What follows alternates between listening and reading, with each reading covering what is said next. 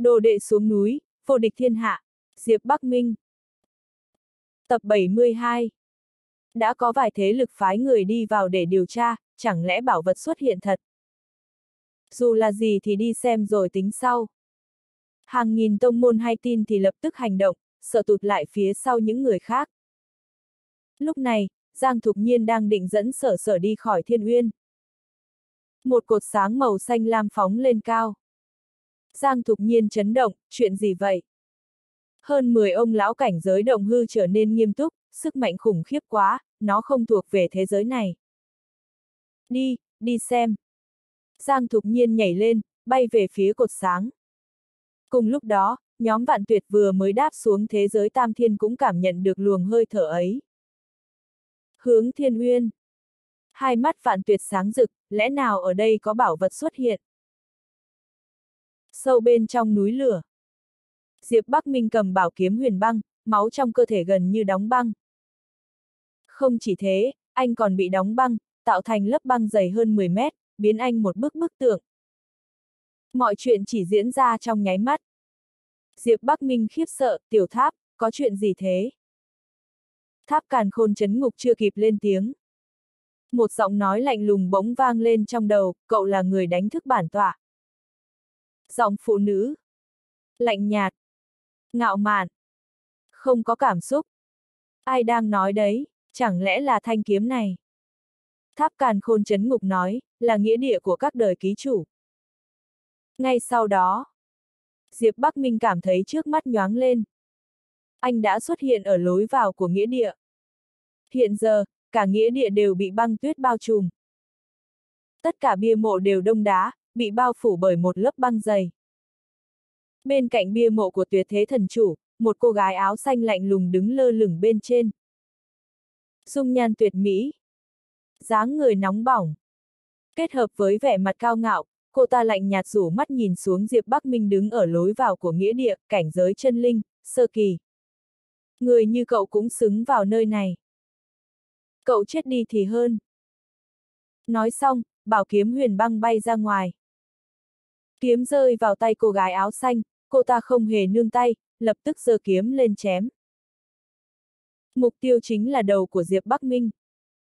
Lửa giận bùng lên trong lòng Diệp Bắc Minh, cái quái gì vậy? Tôi là chủ nhân của tháp càn khôn chấn ngục, là chủ nhân của khu mộ này. Nếu chọc giận tôi thì tôi đào mộ cô lên, khiến cô chết không có chỗ chôn. Cô gái áo xanh hừ lạnh, láo xược, cậu tự tìm cái chết. Kiếm trong tay cô ta chém ác hơn vài phần, kèm theo lực lượng cực hàn. Cút! Diệp Bắc Minh quát lên. Kiếm càn khôn chấn ngục xuất hiện trong tay, anh lập tức giơ kiếm chém. Âm, một tiếng vang kinh thiên động địa, sóng xung kích khủng bố thổi quét qua cả nghĩa địa. Diệp Bắc Minh bị hất hay ra ngoài, phun ra một ngụm máu. Bỗng nhiên một giọng nói nghi ngờ vang lên bên tai, ơ, cậu không chết. Kiếm càn khôn chấn ngục ở trong tay cậu, nói. Sốt cuộc cậu là ai? Diệp Bắc Minh móc một nắm đan dược ra nhét vào mồm, tao là bố mày. Long tổ, cho tao sức chiến đấu gấp 10 lần. Hôm nay, cho dù tao có phải lật tung khu mộ này lên thì cũng phải làm thịt con khốn này. Gào. Chỉ trong nháy mắt, huyết long hiện lên sau lưng Diệp Bắc Minh. Anh lau máu bên khóe miệng, tay nắm chặt kiếm càn khôn chấn ngục. Soạt. Diệp Bắc Minh chém một nhát kiếm, kèm theo đó là một luồng kiếm khí đỏ như máu, tức khắc chiếu sáng của nghĩa địa. Băng tuyết xung quanh đều tan chảy, cuối cùng cô gái áo xanh cũng không duy trì được vẻ mặt bình tĩnh. Cô ta giơ kiếm lên đỡ đòn. Dầm. Cô gái áo xanh bị đánh bay ra ngoài, kiếm huyền băng cũng tuột khỏi tay, cô ta đâm vào một bia mộ. Cậu! Cuối cùng sắc mặt của cô gái áo xanh cũng thay đổi, cô ta nhìn Diệp Bắc Minh với ánh mắt khó tin. Cho dù cô ta chỉ còn lại một thần hồn thì cũng không thể bị con kiến mới ở cảnh giới chân linh đánh bại được. Giết! Mặt Diệp Bắc Minh nặng như trì, kiếm càn khôn chấn ngục lại bùng nổ sức mạnh, chém thần hồn của cô gái áo xanh. Đột nhiên, tháp càn khôn chấn ngục vang lên, nhóc, khoan đã. Diệp Bắc Minh dừng lại, tiểu tháp, tại sao vừa rồi ông không xuất hiện? Tháp càn khôn chấn ngục cười nói, cậu sẽ biết ngay thôi. Băng phách, cảm giác bị đánh bại thế nào? Hiển nhiên tháp càn khôn chấn ngục đang nói chuyện với cô gái áo xanh, bản tháp biết tính cô kiêu căng, cho dù bản tháp xuất hiện, cô cũng sẽ không phục tên nhóc Diệp Bắc Minh này. Bây giờ bị cậu ta đánh bại, cô chịu phục chưa? Băng phách nhìn về phía Diệp Bắc Minh, giọng nói vẫn rất lạnh nhạt, thế nên cậu ta là ký chủ mới mà ông tìm à? Sai rồi. Tháp càn khôn chấn ngục sửa lại, là chủ nhân. Cái gì? Băng phách chấn động, sao có thể thế được? Một thằng nhãi cảnh giới chân linh sao có thể là chủ nhân của ông? Tháp hồn, ông điên rồi. Tháp càn khôn chấn ngục cười, cảnh giới chân linh thì sao? Chẳng phải cô cũng không phải đối thủ của cậu ta sao? Ông! Băng phách sầm mặt. Tháp càn khôn chấn ngục cười nói, chủ nhân, có câu hỏi gì cậu có thể hỏi cô ta? Diệp Bắc Minh nhướng mày, lạnh lùng nhìn thần hồn của băng phách, cô là ai? Băng phách nở nụ cười ngạo nghễ, tôi là thần. Diệp Bắc Minh chém một nhát, huyết long đè ép, cô tỏ ra kiêu căng cái gì chứ? Nói năng tử tế cho tôi. Huyết long nghiền áp, băng phăng không chống lại được. Cô ta chật vật ngã xuống đất, bóng dáng trở nên hư ảo hơn. Diệp Bắc Minh vẫn không định dừng lại, kiếm khí đỏ tươi bộc phát. Con người của băng phách co lại. Nếu chúng nhát kiếm này thì cô ta chắc chắn sẽ chết. Khoan đã, tôi không nói dối, tôi thật sự là thần. Dù bây giờ chỉ còn lại một thần hồn, trước đây tôi cũng từng là thần. Việc này tôi không lừa cậu. Băng phách nói liền tù tì. Có thể thấy cô ta thật sự sợ hãi. Diệp Bắc Minh nhìn cô ta, nếu cô là thần thì tại sao lại chết? Ánh mắt băng phách trở nên lạnh lùng, thần linh cũng sẽ chết đi, hơn nữa thần không phải vô địch. Audio điện tử võ tấn bền. Cô ta nhếch miệng cười chào phúng, ít nhất, bây giờ cậu có thể đánh bại tôi, chẳng phải thế sao? Cảm giác thắng được thần linh thế nào? Chát! Diệp Bắc Minh thẳng tay cho cô ta một bạt tai, bớt móc mỉa lại. Cậu! Băng phách xấu hổ và tức giận tột độ, trong lòng cảm thấy cực kỳ uất ức. Chàng trai, cậu đối xử với tôi thế này, không sợ một ngày nào đó tôi khôi phục thực lực ư. Diệp Bắc Minh cười nhạt, lắc đầu nói, xem ra cô còn chưa hiểu rõ tình cảnh của mình. Cô đã chết rồi, chỉ còn lại một thần hồn. Cô thình lình xuất hiện, có lẽ là có chuyện gì cần nhờ tôi đúng không? Thế mà cứ ra vẻ ngạo mạn cao quý lắm, rốt cuộc cô đang ngạo mạn về cái gì? Muốn nhờ tôi làm việc thì ăn nói cho tử tế. Ít nhất cũng bỏ cái vẻ cao ngạo của cô đi trước đã, hiểu chưa? Băng phách im lặng. Cô ta nhìn xoáy vào Diệp Bắc Minh. Người thanh niên trước mắt thông minh và khôn khéo hơn cô ta dự kiến. Chàng trai, cậu rất thông minh. Sau đó, băng phách nói, quả thực bổn tọa có chuyện muốn nhờ cậu. Diệp Bắc Minh bình tĩnh đáp lại, nói đi xem nào. Bách phách hít sâu một hơi, tôi đến từ thần giới, là... Dừng lại. Diệp Bắc Minh thẳng thừng ngắt lời cô ta, thứ nhất, ta không hề hứng thú chút nào về lai lịch của cô. Thứ hai, cô chỉ cần nói cho ta biết cô muốn ta làm gì. Thứ ba, cô có thể làm gì cho ta, cho ta được lợi lộc gì. Diệp Bắc Minh nói xong, băng phách lại không hề nổi nóng. Đôi mắt đẹp của cô ta còn ánh lên vẻ tán thưởng, hay lắm, bản tọa cũng không thích nói nhảm. Cậu cũng thấy rồi đấy, mặc dù thần hồn của bản tọa ở trong nghĩa địa này. Nhưng nhìn từ một góc độ khác thì là bản tọa bị giam ở đây. Cho nên, tôi cần cậu đủ mạnh để mở được nghĩa địa này ra. Cậu chỉ cần thả thần hồn của bản tọa ra ngoài là được, ngoài chuyện này ra, cậu không cần làm gì khác nữa. Diệp Bắc Minh gật đầu, vậy tôi được lợi lộc gì?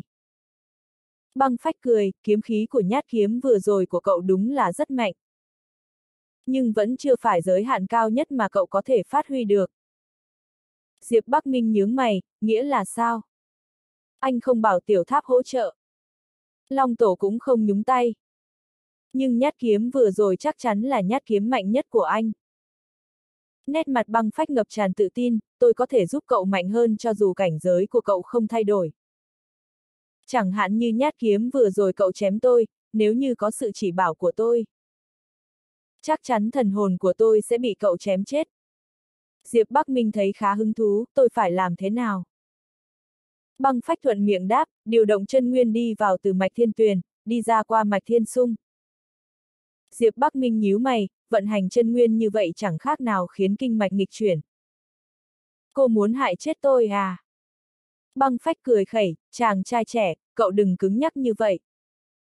Ai bảo cậu chân nguyên bắt buộc phải đi theo một chiều nhất định. Bản tọa đã chỉ cách cho cậu biết rồi, tin hay không thì tùy cậu. Diệp Bắc Minh ngẫm nghĩ một chút. Anh vận hành chân nguyên trong cơ thể theo cách mà băng phách hướng dẫn. Một giây sau, chán anh nổi gân xanh. Nét mặt trở nên hung hãn. Đồng thời, luồng khí quanh người bắt đầu ngưng tụ, khí thế không ngừng tăng vọt. Lấy Diệp Bắc Minh làm trung tâm, một vòng xoáy lớn màu đỏ màu hình thành. Diệp Bắc Minh khiếp sợ nhận ra, dù không dựa vào bất kỳ vật ngoài thân nào, sức mạnh của anh vẫn tăng khoảng hai lần. Chớp thời cơ ngay lúc này, chém kiếm khí của cậu ra. Được. Diệp Bắc Minh quát khẽ một tiếng. Năm ngón tay siết lại, chém kiếm càn khôn chấn ngục xuống. Một luồng kiếm khí màu đỏ máu cao tới ngàn trượng bộc phát, chém sâu xuống nghĩa địa, tựa như một ngọn núi lửa đang phun trào. Một tiếng ầm nổ vang trời.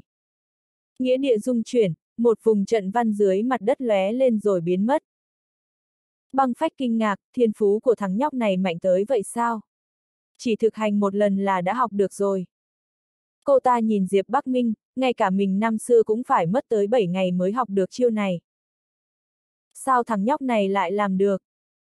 Diệp Bắc Minh vui mừng ra mặt, quả nhiên sức mạnh đã tăng lên nhiều. Còn cách gì khác nữa không? Băng phách dần giật khóe môi, cậu học cho kỹ chiêu này đã rồi hãng bàn tiếp. Trong thực chiến, chắc chắn kẻ địch sẽ không cho cậu nhiều thời gian như vậy để chuẩn bị. Diệp Bắc Minh gật đầu. Giọng băng phách lại vang lên một lần nữa, hơn nữa, hình như bên ngoài có người tới. Không chỉ một, hai người đâu mà là rất nhiều người.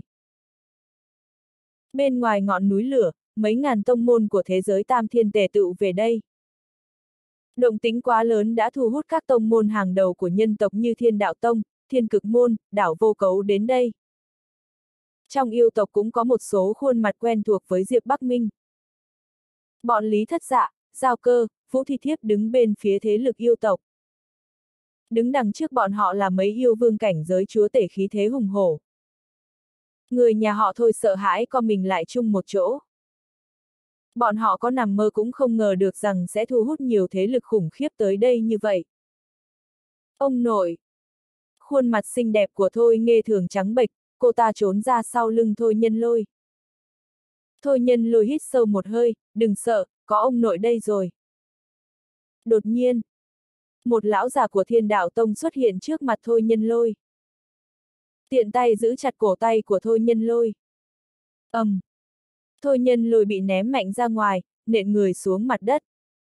Ông ta thê thảm hộc ra một búng máu, cố gắng gượng dậy nhiều lần mà không được. Ông nội! Thôi nghe thường chạy tới. Lão già thiên đạo tông dậm chân một cái, một luồng khí mạnh mẽ áp xuống. Thôi nghe thường quỳ phịch xuống đất, không thể đi tiếp bước nào nữa. Nghe thường. Thôi nhân lôi giật mình la lên, một bàn chân đạp lên đầu ông ta.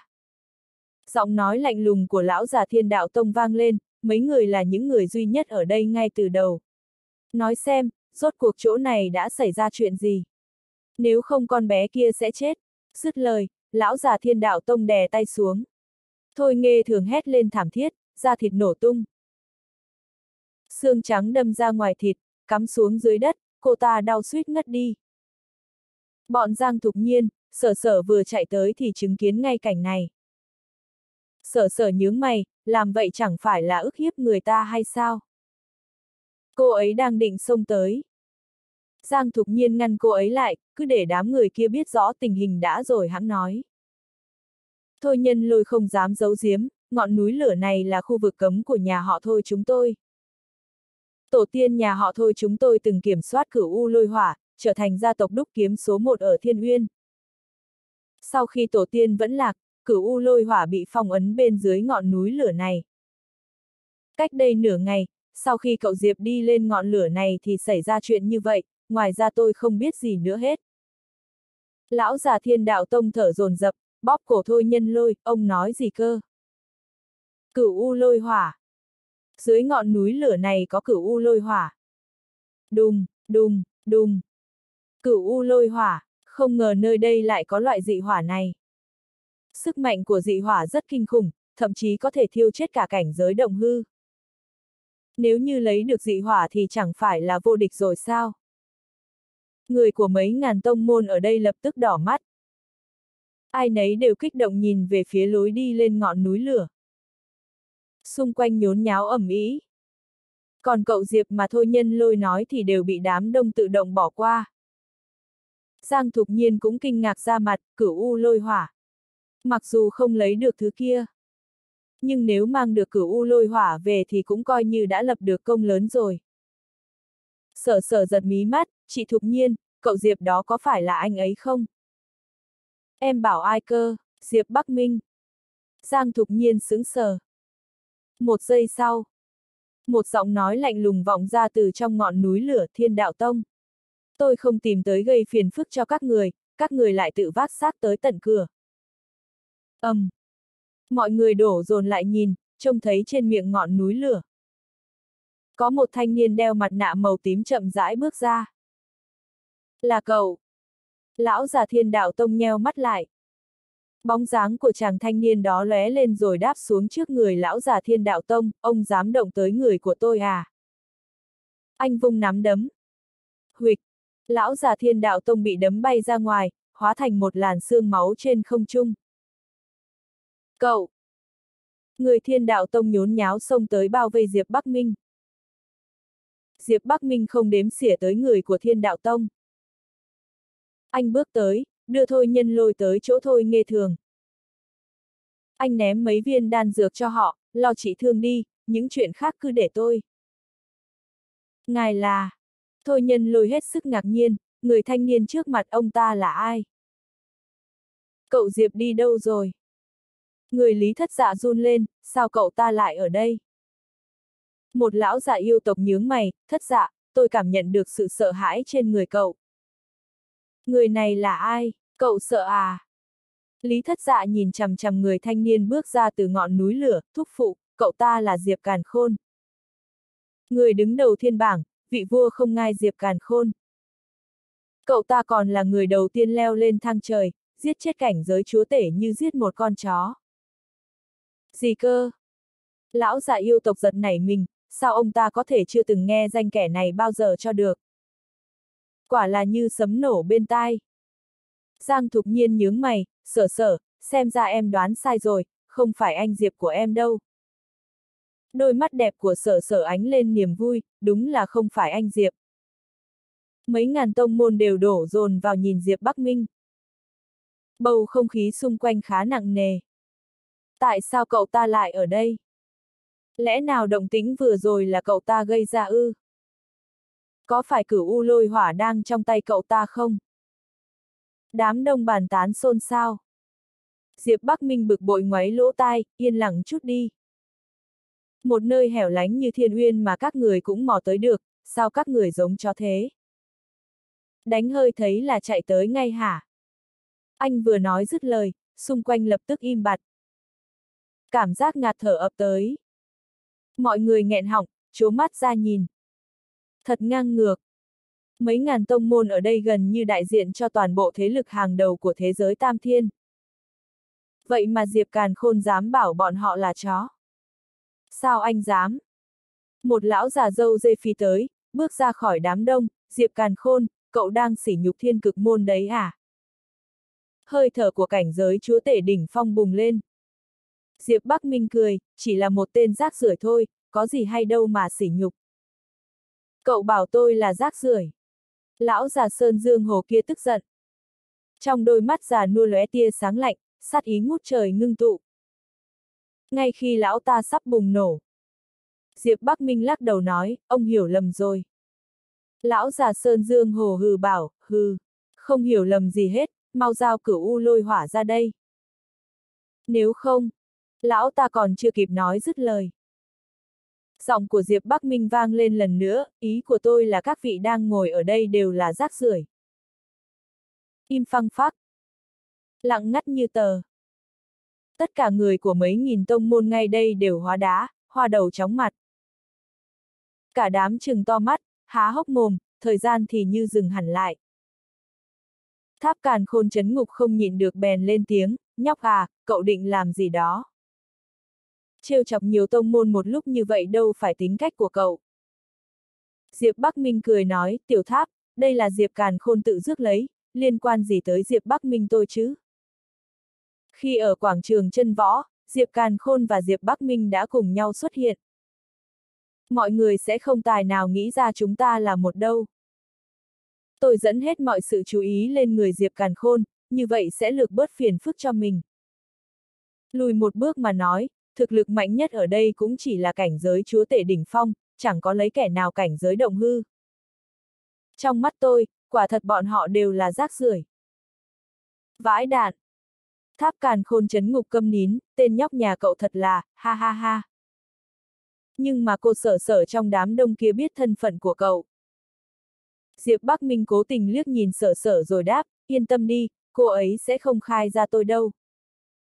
Trong đám đông, Lý thất dạ ngẩng đầu, cậu ta điên rồi à? Lão già yêu tộc bên cạnh cười khẩy, ông vua không ngai hả? Thứ nhất trên thiên bảng thì sao chứ? Quá kiêu ngạo rồi, mọi người không thù không oán với cậu ta mà cậu ta lại dám chọc tức nhiều người như thế. Đến cả chữ chết viết thế nào cũng không biết. Giao cơ lảo đảo, mỹ nhân đẹp nhất yêu tộc suýt nữa vấp ngã. Giang Thục Nhiên nhìn Diệp Bắc Minh, lai lịch của thằng nhóc này là gì thế? Sao còn kiêu căng hơn Diệp Bắc Minh? Hô hấp sở sở dồn dập. Gương mặt đỏ bừng vì phấn khích. Cho dù đứng sau cô ấy là nhà họ sở ở huyền giới thì cũng không dám phát ngôn rằng mấy nghìn tông môn ở thế giới tam thiên đều là rác rưởi. Một lão già nhà họ Giang hỏi, cần ra tay không? Tên này sỉ nhục cả nhà họ Giang nữa. Theo lý mà nói, cậu ta đã là một người chết rồi.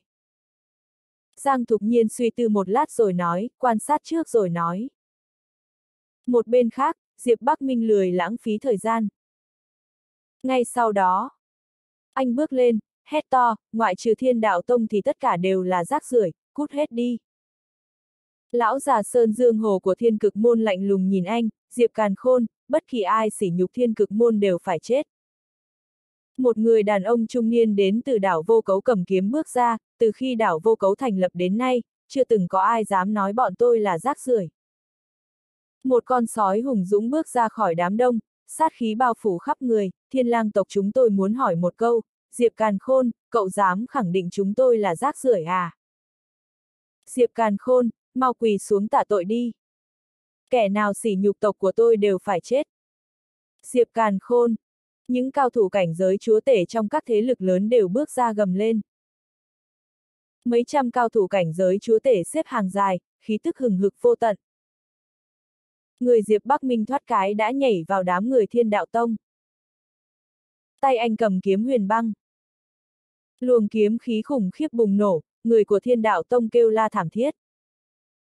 Á! À, Đến cả mấy thái thượng trưởng lão cảnh giới chúa tể của thiên đạo tông cũng không thể nào đỡ được một kiếm của anh.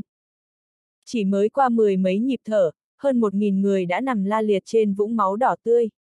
Ối người của mấy nghìn tông môn ngay đây sự vỡ mật. Lý thất dạ lặng người, thực lực của cậu ta lại tiến bộ thêm rồi. Giao cơ nuốt một ngụm nước miếng, đây đúng là tàn sát từ một phía mà, lần đầu tiên tôi chứng kiến thiên đạo tông chết như rơm như dạ không có chút sức chống trả nào. Ngoài kinh hãi vẫn là kinh hãi. Đôi mắt Giang Thục Nhiên lóe sáng, sát phạt quyết đoán hơn những kẻ ở học viện nhiều. Cậu ta là một người tài, có nên mượn sức chút không? Lúc này, Diệp Bắc Minh quay đầu lại. Anh nhìn sang mấy kẻ cảnh giới chúa tể kia, vừa rồi các người vừa nói gì nhỉ? Tôi không nghe rõ. Sắc mặt của lão già Sơn Dương Hồ của thiên cực môn trắng như tờ giấy, khụ khụ.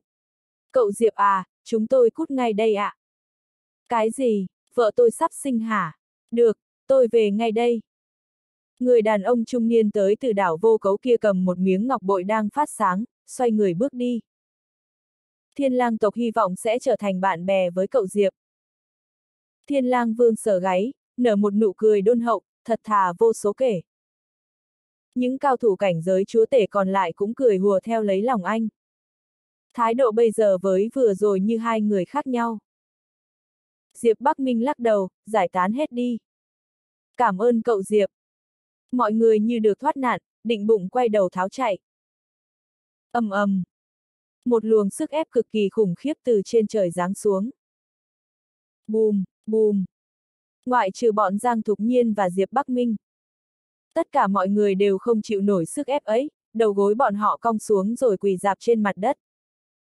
Đi mòn giày sắt mà chẳng thấy đâu, hóa ra lại ở ngay trước mặt. Một giọng nói đầy ngạo mạn vang lên, đúng lúc chúng tôi đang định tìm Diệp Càn Khôn thì người đã ở ngay đây rồi. Các người nói xem có trùng hợp không? Phong tỏa bốn phía, đừng để cậu ta chạy thoát. Dứt lời, 30 người từ trên trời đáp xuống, bao vây Diệp Bắc Minh. Cảnh giới động hư, hơn 30 người cảnh giới động hư. Trời ơi! Những người ở đây sợ xanh mặt, run rẩy quỳ gối trên mặt đất. Ánh mắt Diệp Bắc Minh lạnh lùng, người từ huyền giới à? Huyền giới là đâu? Phần lớn người tu võ ngơ ngác không hiểu gì. Chỉ có một vài lão già đứng đầu số ít tông môn run người, hoảng sợ nhìn vạn tuyệt. Vạn tuyệt kiêu ngạo nói, cho cậu một cơ hội. Thứ nhất giao mảnh vỡ kia ra đây.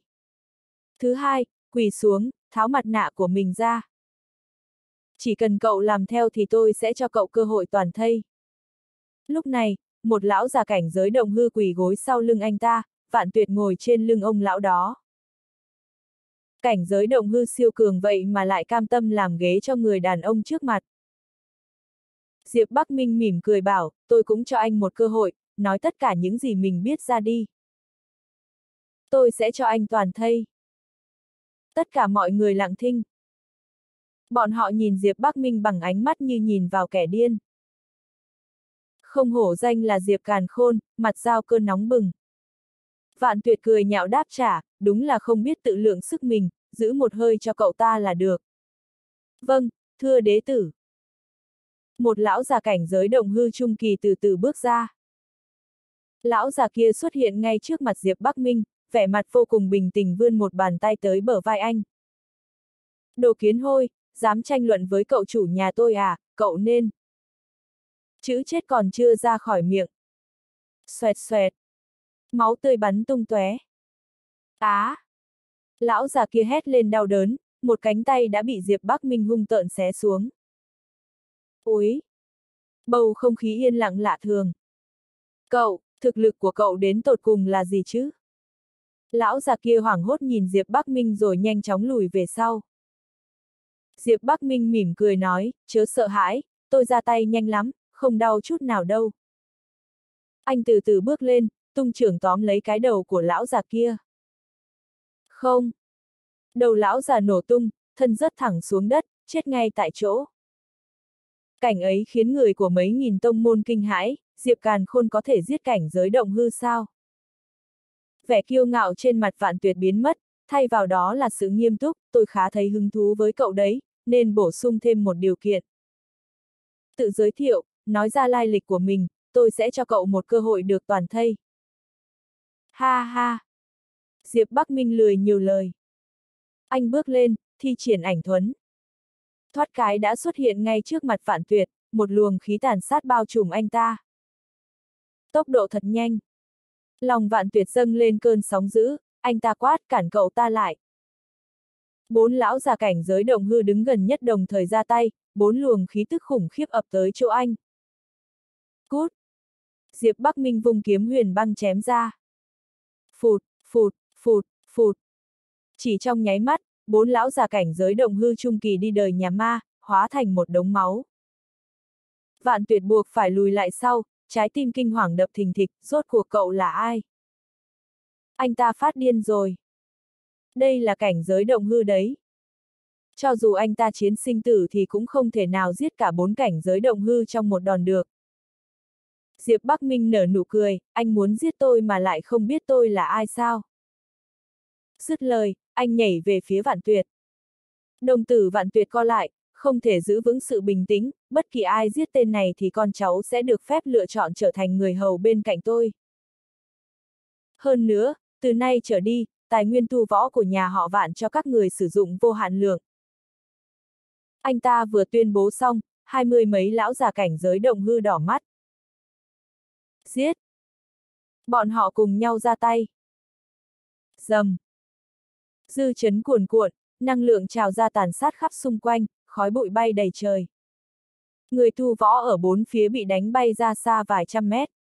Đợi đến khi khói bụi dần tan, khu vực phát nổ chỉ còn lại một cái hố sâu hơn cả trăm mét. Diệp Càn Khôn chết rồi à? Có người nuốt nước miếng hỏi thử. Người bên cạnh run run đáp, hỏi thừa thế, hơn 20 cao thủ cảnh giới động hư cùng ra tay, chắc chắn là đến cho cốt cũng không còn nữa là. Lý thất dạ sợ run người, cuối cùng cũng chết rồi. Giao cơ thở dài tiếc nuối, thật đáng tiếc. Anh Diệp. Sở sở thẫn thờ ngã phịch xuống đất, thần hồn lạc phách. Anh Diệp. Giang Thục Nhiên nhìn chằm chằm vào sở sở, quả nhiên là cậu ta. Vạn tuyệt há mồm thở dốc, giữ tợn cười phá lên, ha ha ha. Cuối cùng cũng chết rồi, tôi còn tưởng cậu trâu bò lắm chứ. Mẹ kiếp, chẳng được cái gì hết, thậm chí còn không chịu nổi một đòn. Lời vạn tuyệt vừa dứt. Sau lưng anh ta vọng tới một giọng nói khiến người ta sởn tóc gáy, anh mừng quá sớm rồi nhỉ. Cái gì? Vạn tuyệt bất giác quay đầu lại. Đúng lúc bắt gặp cái mặt nạ màu tím kia. Xuyên qua lỗ thủng trên mặt nạ, anh ta nhìn thấy một đôi mắt lạnh lẽo vô tình. Cậu! Vạn tuyệt run người. Diệp Bắc Minh vùng kiếm chém qua. Gầm gừ. Một con huyết long lao ra khỏi kiếm huyền băng, hung hãn tấn công anh ta. Không, vạn tuyệt kinh hoàng, cảm giác được tử vong sắp ập tới. Anh ta bối rối loạn choạng lấy ra một tấm khiên màu vàng. Phù văn sáng rực, huyết long đập vào tấm khiên màu vàng kia. Đùng đùng đùng, tấm khiên nứt ra. Nhưng huyết long vẫn chưa biến mất mà đấm thẳng vào ngực vạn tuyệt. Xương sườn anh ta dập nát, lồng ngực lõm xuống. Chật vật ngã phịch xuống đất như chó. Cậu chủ. Hai mươi mấy lão già cảnh giới động hư kia thấy thế thì suýt nữa đã bị hù chết tươi rồi. Nếu vạn tuyệt hy sinh, kết cục của bọn họ chỉ có một ấy là chôn theo vạn tuyệt. Ngay khi hai mươi mấy cao thủ cảnh giới động hư kia xông tới tấn công. Diệp Bắc Minh bước tới chỗ vạn tuyệt. Kiếm huyền băng kề sát cổ anh ta, tất cả đứng lại hết cho tôi. Hai mươi mấy lão già cảnh giới động hư kia thấy thế đều đứng lại, không dám bước lên nửa bước. Giọng Diệp Bắc Minh hờ hững thông báo, có hai vấn đề, thứ nhất là ai phái anh tới giết tôi. Thứ hai, mảnh vỡ trong lời của anh là gì? Đôi mắt vạn tuyệt đỏ ngầu, ha ha ha, đồ chó chết, cậu dám đối xử với tôi như vậy. Hỏi gì đáp nấy. Diệp Bắc Minh thẳng thừng cắt ngang lời anh ta. Kiếm huyền băng hạ xuống, một cánh tay của vạn tuyệt biến mất. Cậu chủ. Hai mươi mấy lão già cảnh giới động hư kia hết hồn, định bụng ra tay. Kiếm huyền băng của Diệp Bắc Minh vẫn kề sát cổ vạn tuyệt, xem ra bọn họ rất mong anh chết nhỉ. Vạn tuyệt đau đến suýt ngất, vẻ mặt dữ tợn gào thét, mẹ kiếp. Lùi về sau hết cho tôi. Các ông muốn tôi chết sớm à? Đúng là một lũ vô dụng. Lùi về sau hết cho tôi. Hai mươi mấy lão già cảnh giới động hư kia không dám bước lên nửa bước. Anh ta ngẩng đầu lên, trong ánh mắt dâng trào sự căm hận, Diệp Càn Khôn, cậu có biết mình đang làm gì không? Hả, tôi bảo anh trả lời vấn đề của tôi. Diệp Bắc Minh thở dài, vùng kiếm huyền băng lên, trí nhớ tệ thật. Không. Vạn tuyệt chết sững. Kiếm huyền băng chém xuống, một cái đùi của anh ta hóa thành bột mịn. Á! Vạn tuyệt hét đau thấu tận tim gan. Diệp Bắc Minh cười lạnh nhạt nói, quá tam ba bận, kiếm cuối cùng sẽ chém đầu anh đấy. Tôi nói, tôi là Vạn Tuyệt, đến từ nhà họ Vạn, một trong các gia tộc của tộc hỗn độn. Vạn Tuyệt sợ thật rồi, thằng nhãi này chắc chắn là kẻ điên. Diệp Bắc Minh vừa nghe ba chữ tộc hỗn độn thì lòng chợt liên tưởng tới một việc. Đại sư tỷ chính là người của tộc hỗn độn. Anh có biết nhà họ lạc của tộc hỗn độn không? Vạn tuyệt gật đầu đáp, tộc hỗn độn có tổng cộng 10 nhánh, nhà họ Lạc là một trong số đó. Nhưng mà trong 10 gia tộc của tộc hỗn độn, nhà họ Lạc xếp thứ 9, còn nhà họ Vạn xếp thứ 3. Diệp Bắc Minh không dám tùy tiện nhắc đến thông tin của đại sư tỷ Lạc Khuynh Thành. Anh lo sẽ gây phiền phức cho cô ấy. Nói tiếp, ai phái anh tới đây? Vạn Tuyệt vừa định trả lời. ầm ầm. Bỗng nhiên, một tia sấm chớp xẹt ngang qua trời, trên không trung xuất hiện phù văn. Một luồng khí thức hùng dũng tràn lan khắp đất trời, trong nháy mắt, vô số người ngẩng đầu lên. Một bóng người hiện lên, đôi mắt đen như mực nhìn xuống thế gian tựa thần linh. Người tu võ của mấy nghìn tông môn chỉ nhìn một lần thôi thì đã quỳ gối trên mặt đất, dập đầu tới tấp như tín đồ được gặp thần linh. Khí tức này là... Cho dù là bọn Giang Thục Nhiên và Sở Sở thì cũng bị luồng sức mạnh ấy ép quỳ xuống. Sư phụ! Vạn tuyệt vô cùng kích động, cậu ta chính là Diệp Càn Khôn, mau giết cậu ta đi ạ. À. Giọng tháp Càn Khôn chấn ngục vang lên cùng lúc, nhóc nè, đó chính là chủ luân hồi. Diệp Bắc Minh ngẩng đầu, mắt đối mắt với con người đen tuyền sâu thẳm kia. Một luồng sức mạnh tinh thần khủng khiếp ập tới. Thần hồn thủ nhất. Một giọng nói đầy uy nghiêm vang lên trong đầu anh. Diệp Bắc Minh hồi hồn, lòng thầm kinh hãi. Vừa rồi nếu không nhờ có tháp càn khôn chấn ngục mở miệng thì anh đã bị ép quỳ gối rồi, tiểu tháp, sức mạnh tinh thần thật mạnh. Tháp càn khôn chấn ngục cũng cảm thấy vấn đề nghiêm trọng, ông ta là một vị thần đã qua đời. Thực lực đã biết mất, nhưng thần hồn không bị mài mòn. Ông ta đã có kinh nghiệm tích lũy vô số năm, còn cậu mới bao tuổi chứ? Chịu không nổi là đúng rồi. Giọng của chủ luân hồi lại vang lên, cậu có thể chịu nổi đòn tấn đông tinh thần của bổn tọa nhỉ? Xem ra mảnh vỡ thứ tư trên người cậu thật rồi. Mau giao mảnh vỡ ra đây rồi phục tùng dưới chướng bổn tọa thì có thể tha tội chết cho cậu. Vạn tuyệt cười to cuồng loạn, ha ha ha ha, Diệp Càn Khôn, cậu nghe chưa? Nếu cậu thức thời thì tốt nhất là mau chóng giao mảnh vỡ của tháp Càn Khôn chấn ngục ra đây, tôi có thể giữ một mạng cho cậu trước mặt sư phụ. Nếu không thì... Diệp Bắc Minh nhíu mày, ồn ào quá. Kiếm huyền băng lướt ngang qua, vạn tuyệt hoảng sợ ôm cổ, sao cậu dám? Một vệt máu lướt ngang qua, cái đầu rớt xuống đất rồi bị dẫm nát bét. Cậu chủ!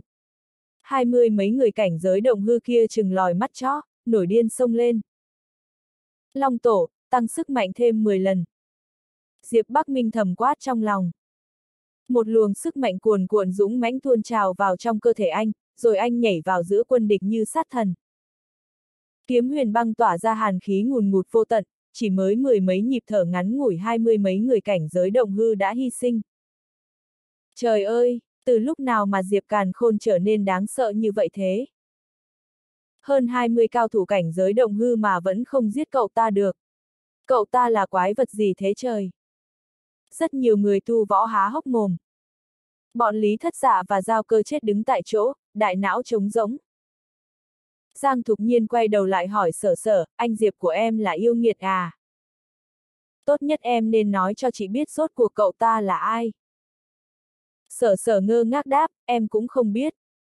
Cô ấy biết Diệp Bắc Minh rất mạnh nhưng lại không ngờ rằng anh lột xác nhanh đến vậy. Quả thật chẳng khác nào phóng tên lửa.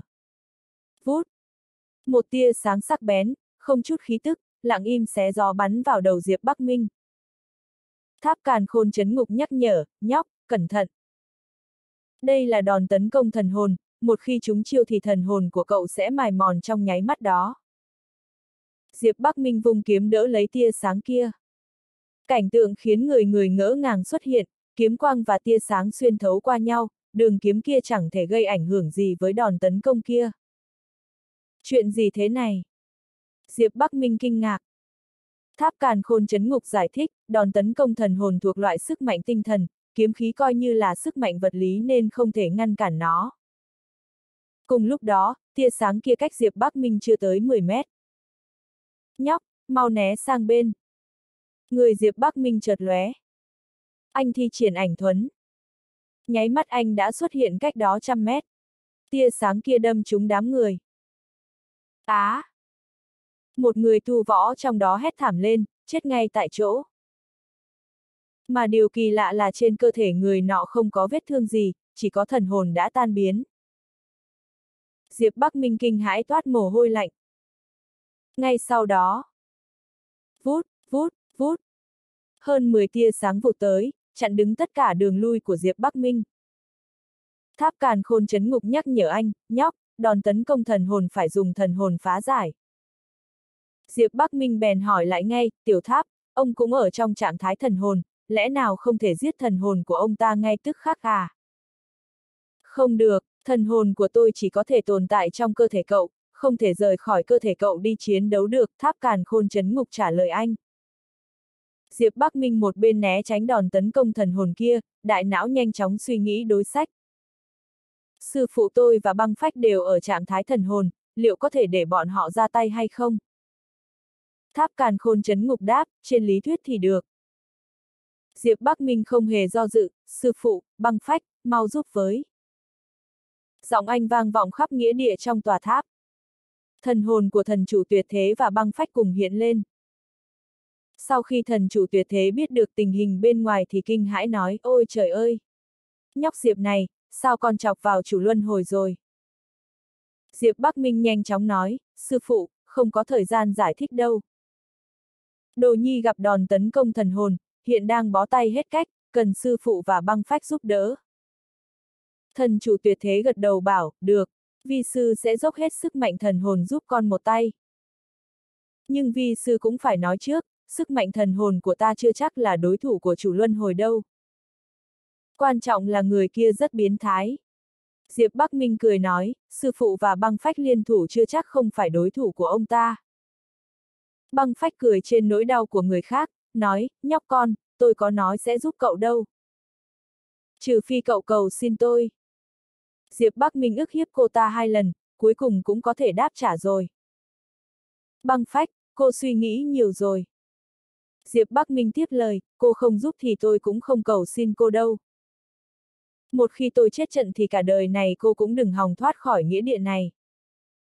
Nụ cười của băng phách cứng đờ, cậu tìm một cơ hội đi, tôi và thần chủ tuyệt thế sẽ cùng ra tay. Kết nối thần hồn hoàn thành trong nháy mắt. Lúc này, hàng chục tia sáng vụt tới. Diệp Bắc Minh đứng im tại chỗ không động đậy, thậm chí còn nhắm mắt lại. Chủ luân hồi bình tĩnh nói, kiến hôn cũng dám đối địch với thần thánh à. Kết quả đã được định trước rồi. Ngay khi những tia sáng kia sắp đâm vào người Diệp Bắc Minh. Ngay vào khoảnh khắc mảnh chỉ treo chuông ấy. Khóe miệng Diệp Bắc Minh chợt cong lên vẽ ra một nụ cười lạnh lẽo. Hả? Chủ luân hồi cảm thấy tình hình không hợp lý.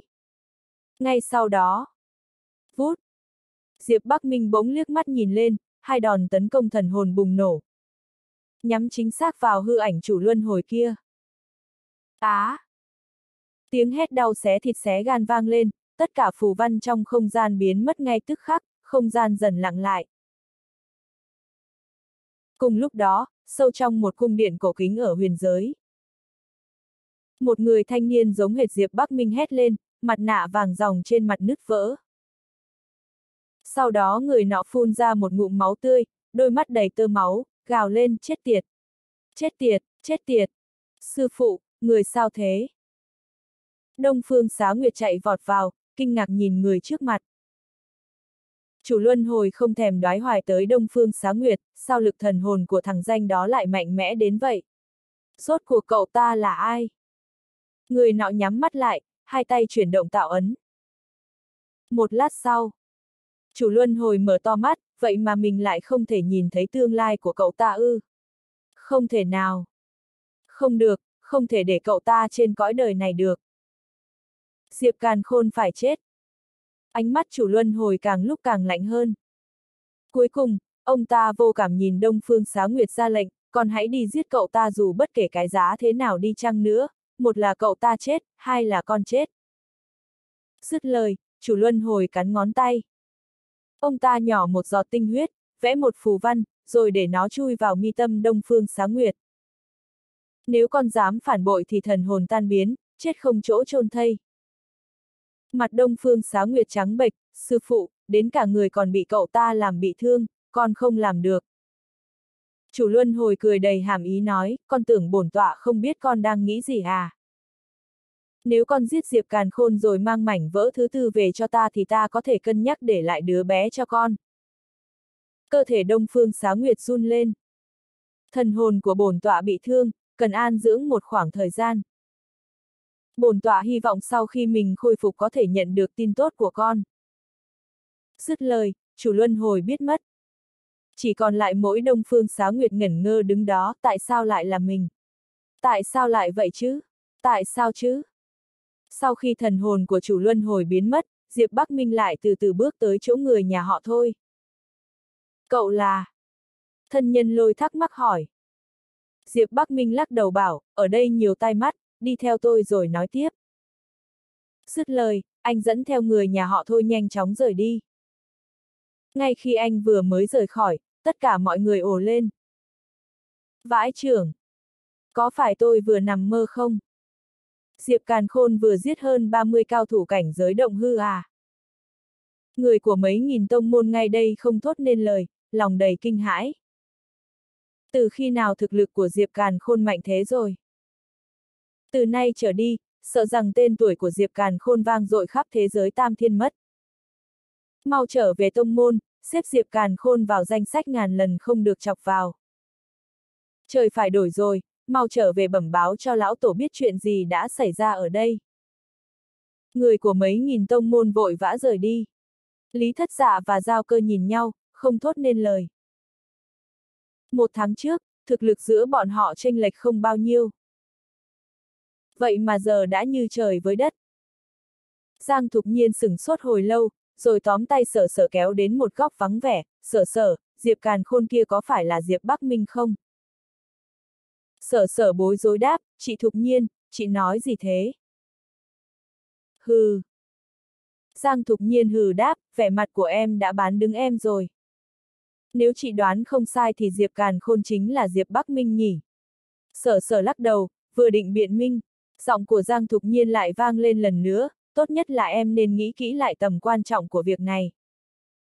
Người cậu ta đắc tội không phải người thường mà là chủ luân hồi. Tuy rằng thằng nhóc kia có thể giết cảnh giới động hư, nhưng đó chẳng qua là vì trên cảnh giới động hư hạn chế tiến vào thế giới vũ nội. Cho dù những kẻ trên cảnh giới động hư đến đây thì cảnh giới cũng sẽ áp chế ở cảnh giới động hư. Nếu một vị cảnh giới hư vương đến đây, em còn cảm thấy cậu ta có thể toàn mạng không? Nếu em muốn bảo vệ cậu ta thì chỉ có một lựa chọn duy nhất là nói hết cho chị biết. Sau khi nói xong, Giang Thục Nhiên lẳng lặng quan sát sở sở. Lòng sở sở đấu tranh một hồi rồi quyết định, vâng, chị Thục Nhiên, em sẽ nói cho chị. Khóe miệng Giang Thục Nhiên cong lên như mục đích đã đạt được. Diệp Bắc Minh đứng trước một sơn cốc, cởi mặt nạ xuống. Cậu Diệp, quả nhiên là cậu, thôi nhân lôi kích động nói. Diệp Bắc Minh bảo, các người chớ kích động, từ nay trở đi các người hãy sống ở di tích Côn Luân hư thượng cổ đi. Cần cái gì thì tôi sẽ cố gắng cung cấp, nếu các người không muốn thì tôi cũng có thể giúp các người rời khỏi thiên uyên. Người nhà họ thôi vội vàng đáp lời, chúng tôi đồng ý ạ. À. Sau khi sắp xếp ổn thỏa cho người nhà họ thôi. Đầu Diệp Bắc Minh thoáng một suy nghĩ, chốc lát anh đã tiến vào Nghĩa Trang. Bia mộ của thần chủ tuyệt thế và băng phách ảm đạm không chút ánh sáng. Một đòn vừa rồi đã khiến hai người họ chìm vào giấc ngủ say. Anh gọi vài câu chẳng ai đáp lại. Diệp Bắc Minh chỉ đành rời khỏi Nghĩa Trang. Lúc này, giọng của Sửu Long vang lên, chủ nhân, cậu đến đây một lát. Anh đi vào di tích Côn Luân hư thượng cổ. Sử Long hóa thành dáng vẻ của một người đàn ông trung niên, bóng người mờ ảo, chưa khôi phục hoàn toàn. Thìn Long đứng một bên, hóa thành một người đàn ôn nhã nhặn. Sắc mặt cả hai trông rất nghiêm trọng. Diệp Bắc Minh thấy thế bèn hỏi, sao cả hai bày ra vẻ mặt như thế vậy? Lẽ nào đã xảy ra chuyện gì chăng? Hai người họ nhìn thoáng qua nhau.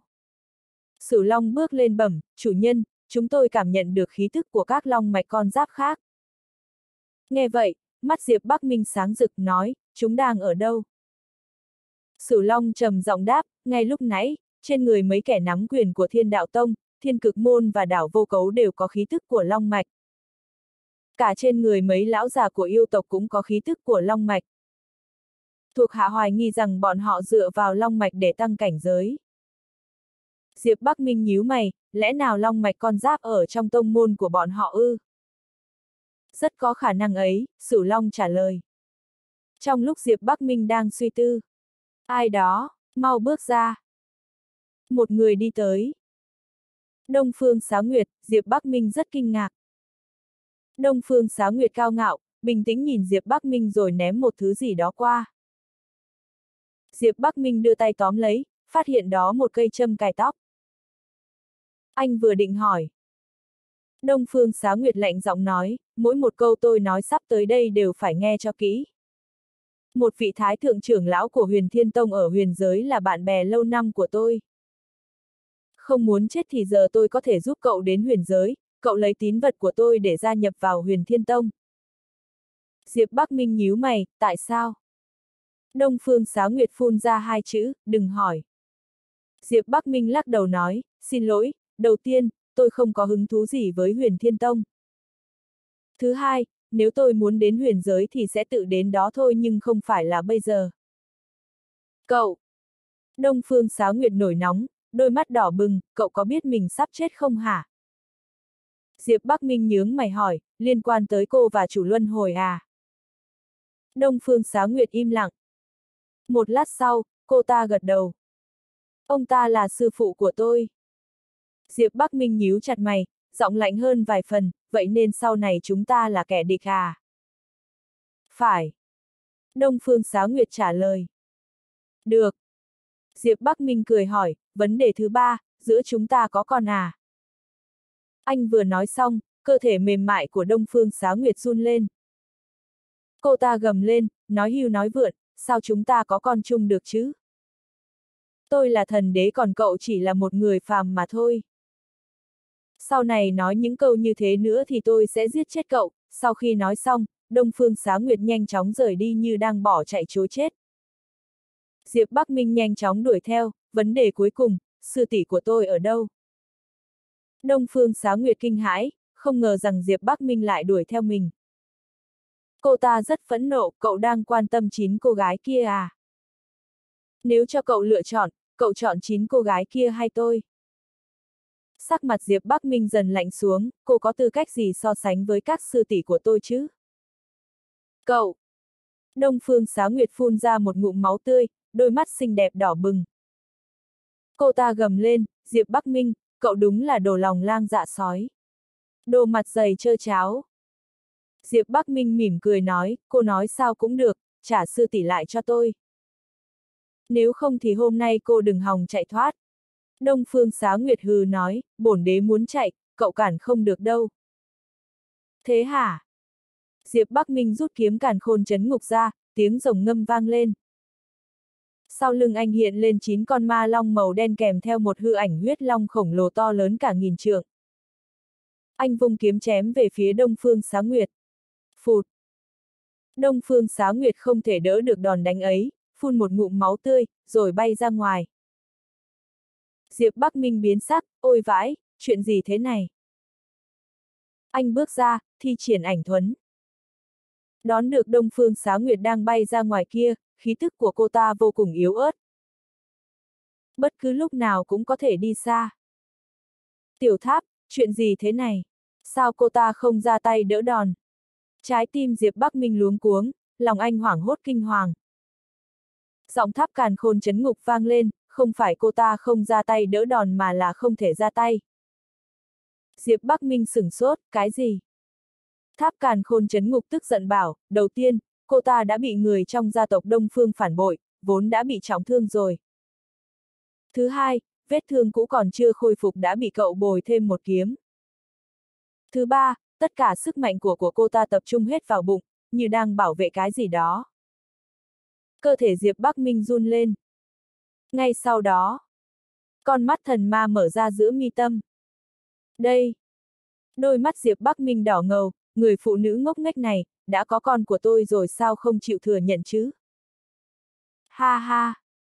Đông Phương Sáo Nguyệt cười tự diễu, bởi vì đứa bé nên cậu mới chịu đối xử dịu dàng với tôi sao? Muốn giết thì cứ giết, thâm tình tới chậm còn ti tiện hơn cỏ ven đường.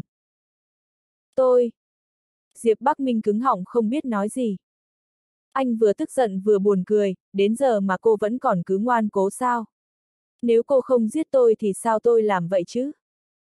Sợ rằng cô chưa biết xưa nay tôi chưa bao giờ nương tay với kẻ địch. Nếu tôi muốn giết cô thì khi ở di tích Côn Luân hư thượng cổ cô đã chết từ thuở nào rồi. Dẫu cho cô có là thần đế. Anh nói chắc như đinh đóng cọc, không để cô ta nghi ngờ. Đông Phương Xá Nguyệt hoảng hốt, gương mặt ửng hồng. Á, à, lẽ nào cậu ta thích mình thật? Không, không thể nào. Ánh mắt cô ta lảng tránh. Giờ phút này, một niềm vui kỳ lạ dâng trào trong lòng cô ta. Đây là, tình yêu nam nữ à? Thật kỳ lạ, thật diệu kỳ làm sao? Bỗng nhiên cảm giác tất cả mọi thứ. Diệp Bắc Minh thở dài, tôi đưa cô đi chữa trị trước. Anh nghĩ một ý rồi đưa Đông Phương Xá Nguyệt vào di tích Côn Luân hư thượng cổ. Cả hai bước đến chỗ Long Thai Trì, hầu tử vẫn đang tĩnh dưỡng trong đó.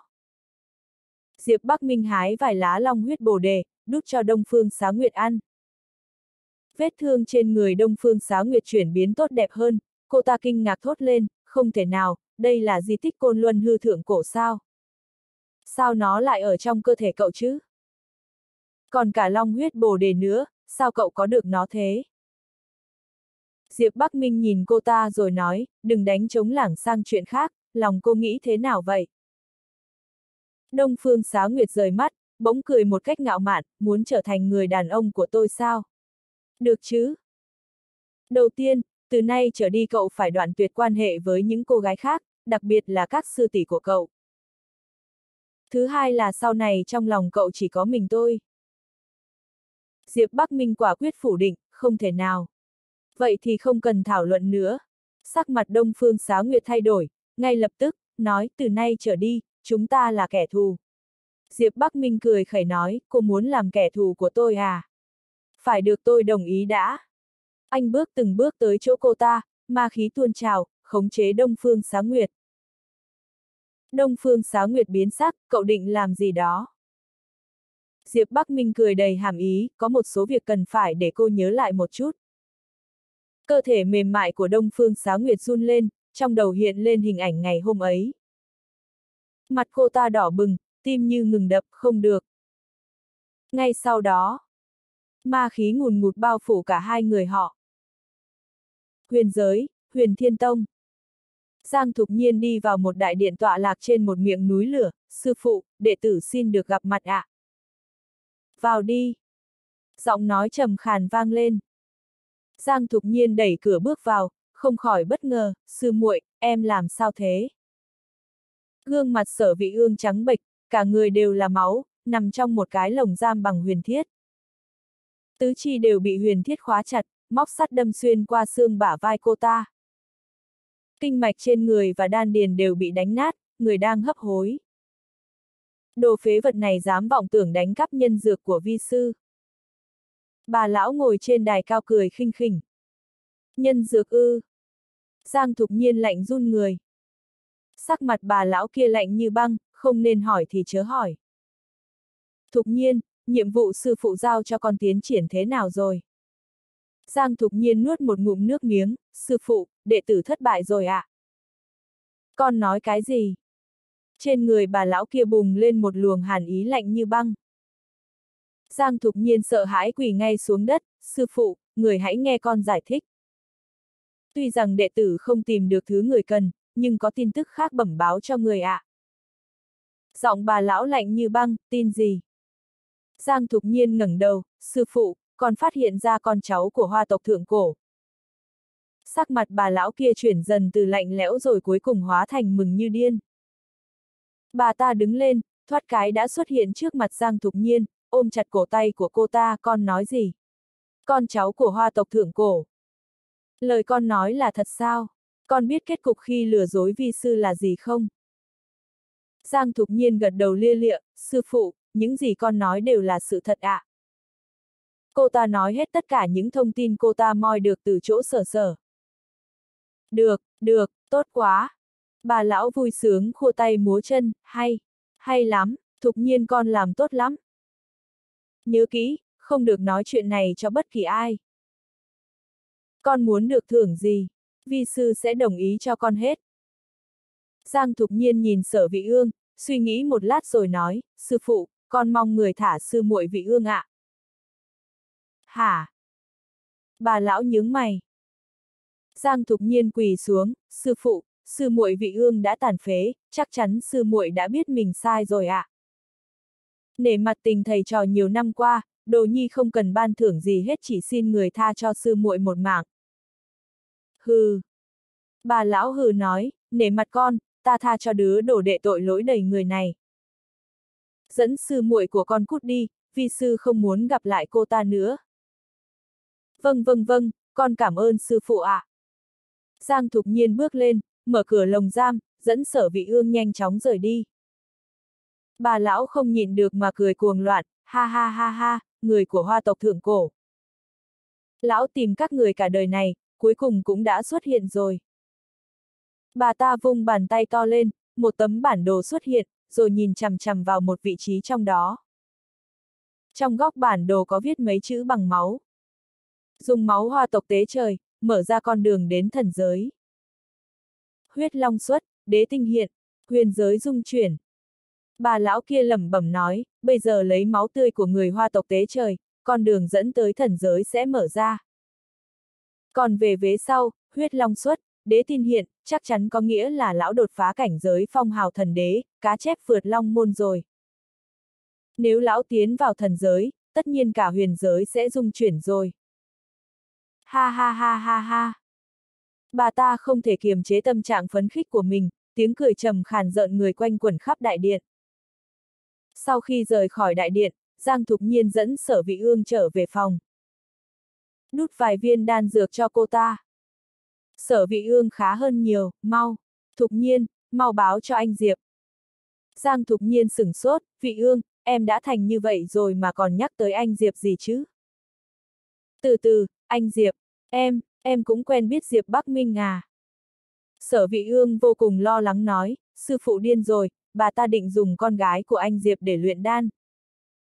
Em nói gì? Giang Thục Nhiên chừng to mắt, chợt nhớ tới nhân dược trong lời sư phụ khi nãy. Lẽ nào chính là ý đó? Sở vị ương giải thích một lượt. Giang Thục Nhiên chết chân tại chỗ, đừng nói là huyền thiên tông, cho dù là cả huyền giới thì cũng không cho phép dùng người để luyện đan. Sư phụ làm vậy lẽ nào không sợ trời phạt ư? Cùng lúc đó, trong di tích côn luân hư thượng cổ. Ma khí ngút trời biến mất, Diệp Bắc Minh ôm Đông Phương Xá Nguyệt, ăn no chưa? Cậu, buông! Mặt Đông Phương Xá Nguyệt ửng đỏ, cả người hiểu xìu không sức lực. Hai tay đặt lên ngực Diệp Bắc Minh, định đẩy anh ra. Nhưng cái eo thon nhỏ của cô ta đã bị một bàn tay to tóm chặt, cho dù vùng vẫy thế nào cũng không thoát ra khỏi lồng ngực của người đàn ông. Cô còn như vậy thì tôi sẽ tức giận đấy. Đông Phương Xá Nguyệt kêu nhỏ. Diệp Bắc Minh vô cùng ngang ngược, vậy thì hỏi cô có phục hay không? Cậu! Đôi mắt Đông Phương Xá Nguyệt phiếm hồng, cắn răng nói, vậy nên cậu đang sỉ nhục tôi sao? Nếu tôi không phục, không lẽ cậu, cậu sẽ làm nhục tôi lại lần nữa như vừa rồi sao? Diệp Bắc Minh bất ngờ, tôi không có ý đó. Vậy ý của cậu là gì? Đôi mắt Đông Phương Xá Nguyệt đỏ hồng, chậm rãi mặc quần áo dưới ánh mắt bàng hoàng của Diệp Bắc Minh. Cô ta nhìn dáng vẻ xấu hổ của Diệp Bắc Minh. Đông Phương Xá Nguyệt mừng thầm, hừ, giỡn với tôi đó à? Bản đế sống cả triệu năm rồi, cái gì mà chưa từng gặp chứ? Xem tôi khiến cậu ấy náy hơn đi, cho cậu càng thấy có lỗi với tôi hơn. Nghĩ đến đây. Đông Phương Xá Nguyệt nghiêm mặt nói, đứa bé không liên quan gì tới cậu hết, tôi sẽ nuôi nó khôn lớn thành người. Tất cả đều là số mệnh của tôi, cho dù Đông Phương Xá Nguyệt tôi bị người trong tộc phản bội. Hay bị cậu ức hiếp, tất cả đều là kiếp nạn vốn có trên con đường của tôi. Đông Phương Xá Nguyệt nói xong rồi giả bộ mất mát. Quả nhiên. Diệp Bắc Minh nói, Diệp Bắc Minh tôi dùng tính mạng thề rằng. Chỉ cần có tôi ở đây thì sẽ không để bất cứ ai làm mẹ con cô bị tổn thương. Chắc như đinh đóng cột, vẻ mặt đầy nghiêm túc. Đặc biệt là đôi mắt vô cùng chân thành kia. Trong chốc lát, Đông Phương Xá Nguyệt ngơ ngác nhìn anh. Mình làm vậy với cậu ta hình như không ổn lắm nhỉ. Mặt cô ta ửng hồng, nhổ nước bọt, ai cần cậu bảo vệ chứ? Tôi là thần đế, tôi có thể tự bảo vệ bản thân mình. Bỗng nhiên, cô ta như nghĩ đến chuyện gì đó, nhắc nhở cậu một câu, chủ luân hồi phái tôi tới đây giết cậu. Nhưng mà, ông ta không biết thân phận thật sự của cậu. Trong mắt ông ta, cậu là Diệp Càn Khôn. Đông Phương Sáo Nguyệt nhìn chằm chằm vào Diệp Bắc Minh, im lặng một hồi rồi mới nói, diễn một vở kịch với tôi đi. Diệp Bắc Minh khó hiểu, diễn à? Đúng vậy. Đông Phương Sáo Nguyệt gật đầu nói, chủ luân hồi biết thuật đọc tâm, nếu cậu không chết thì tôi không thể lừa gạt ông ta được. Vậy nên, cậu chỉ cần ngất trên tay tôi là được. Diệp Bắc Minh nhíu chặt mày, chủ luân hồi đáng sợ đến vậy à? Đông Phương Sáo Nguyệt gật đầu, tin tôi đi, không ai hiểu rõ ông ta hơn tôi đâu. Vậy nên, cậu chỉ cần phối hợp với tôi một lần, được chứ? Diệp Bắc Minh thấy hổ thẹn trong lòng nên gật đầu đồng ý, được. Hai người rời khỏi di tích Côn Luân hư thượng cổ, đến một sơn cốc vắng vẻ. Đông Phương Sáo Nguyệt cười nói, chúng ta cố gắng diễn chân thật một chút, nếu không sẽ rất dễ bị lộ. Diệp Bắc Minh lắc đầu, không cần, thẳng tay giết tôi luôn là được. Cái gì? Đông Phương Sáo Nguyệt kinh ngạc, cô ta không nghĩ rằng Diệp Bắc Minh muốn chết thật. Diệp Bắc Minh không giải thích mà chỉ triệu hồi hình nộm ra. Anh lấy mặt nạ màu tím ra rồi ra lệnh hình nộm đeo lên. Đông Phương Xá Nguyệt chợt hiểu ngay, không cần nhiều lời. Cả hai lao vào chiến đấu căng thẳng, ngay khi hình nộm hóa thành bột mịn, Đông Phương Xá Nguyệt cầm lấy cái mặt nạ màu tím kia, được rồi, như vậy là được. Hình ảnh giết chết cậu đã được khắc ghi trong đầu tôi rồi. Tôi phải đi đây, còn có gì muốn nói với tôi không? Diệp Bắc Minh suy nghĩ một lát rồi nói, các sư tỷ của tôi khỏe không? Lòng Đông Phương Sáo Nguyệt hơi thất vọng, hừ đáp, thần hồn của chủ luân hồi bị thương, trong vòng nửa năm tới các cô ấy vẫn sẽ an toàn. Nửa năm sau thì tôi không biết, cậu vẫn nên tự lo cho chính mình đi. Từ nay trở đi, Diệp Càn Khôn đã chết, đừng dùng thân phận đó nữa. Sau khi nói xong, cô ta nhanh chóng biến mất. Tháp Càn Khôn chấn ngục không nhịn được mà mắng anh, nhóc ơi, cậu ngu chết đi được. Diệp Bắc Minh hỏi lại, tiểu tháp, ông có ý gì? Tháp Càn Khôn chấn ngục nói, nhóc ơi, cậu còn chưa hiểu hả? Cậu đã chinh phục được trái tim của người phụ nữ kia rồi, cô ta còn định làm những việc vô cùng nguy hiểm. Chỉ cần đi sai một bước thì đều có thể rơi vào cảnh vạn kiếp bất phục. Cậu không quan tâm người ta thì thôi đi, vậy mà còn hỏi sư tỷ của mình có an toàn không hả? Cho dù cậu không hỏi thì chắc chắn cô ta cũng sẽ bảo vệ các sư tỷ của cậu thôi. Sau khi Đông Phương Xá Nguyệt rời đi thì tìm một nơi vắng lặng. Cô ta bố trí một pháp trận khởi động phép tắc luân hồi. Nghịch chuyển luân hồi, tái hiện ký ức. Đông Phương Xá Nguyệt nhắm mắt lại. Sau đó, cảnh tượng quay cuồng với Diệp Bắc Minh hiện lên trước mắt. Xóa ký ức. Đông Phương Xá Nguyệt ra tay xóa sạch ký ức giữa mình và Diệp Bắc Minh ở Côn Luân Hư. Khi trong đầu hiện lên cảnh tượng trong màn ma khí dày đặc kia, mặt cô ta chợt ửng hồng. Cơ thể mềm mại bất giác run rẩy. Cô ta cắn đôi môi đỏ mọng thôi, chắc ông ta sẽ không phát hiện cảnh này đâu. An táng nó ở nơi sâu nhất đáy lòng đi. Cách thiên đạo tông khoảng trăm dặm. Một đám người đang mặc đồng phục của thiên đạo tông truy sát một cô gái què. Dầm. Một luồng sức mạnh cuồn cuộn ập tới. Cô gái què phun ra một ngụm máu tươi, ngã nhào xuống đất. Phụt. Một thanh kiếm dài đâm xuyên qua cô gái què từ đằng sau, đính chặt cô gái trên mặt đất. Không thể cử động. Chạy đi, con mẹ mày chạy tiếp đi. Một lão già tiến lên, trên gương mặt già nua tràn đầy sự phẫn nộ, chỉ mới một tháng ngắn ngủi mà đã giết mấy nghìn tên đệ tử của thiên đạo tông tôi. Long khuynh vũ cô đúng là đồ điên. Cô gái què kia chính là thánh nữ tổ Long Điện, Long khuynh vũ. Trong ánh mắt của Long khuynh vũ tràn đầy sự cuồng loạn, ha ha ha. Hơn trăm nghìn người của tổ Long Điện tôi bị các người giết sạch gần như chẳng còn ai. Tôi hận không thể nhấn tất cả người của thiên đạo tông các người xuống địa ngục. Muốn giết thì cứ giết, Long Khuynh Vũ tôi thành quỷ cũng không bỏ qua các người đâu. Hừ. Sắc mặt lão già kia trầm xuống, muốn làm quỷ không đơn giản vậy đâu. Rồi lão già kia vung kiếm lên. Xoẹt xoẹt. Kiếm khí cắt ngang qua quần áo của Long Khuynh Vũ.